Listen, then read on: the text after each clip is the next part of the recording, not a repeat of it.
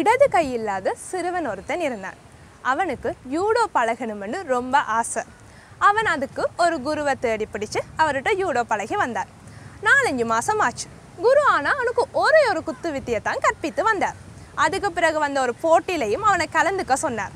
அங்கே போன அவன் அங்கே வந்து பலசாலிகள் அத்தனை பேரையும் வென்றான். ஆனால் அவனுக்கு ஒரு சந்தேகம். நான் அப்படி எல்லாரையும் வென்றேன்? என்று வந்து தன் குருட்ட கேட்டார். குரு சொன்னார் அதுக்கு ரெண்டு காரணம் இருக்குது ஒன்று நான் உனக்கு சொல்லி தந்தது எல்லாத்தையும் விட கஷ்டமான வித்தை. இரண்டாவது உன்னை யாராவது அந்த வித்தையில் வெல்லோணுமெண்டா உன்னை இடது கையை மடக்கி பிடிக்கணும். அப்படி பிடிக்காம யாராலையும் உன்னை வெள்ளையலாது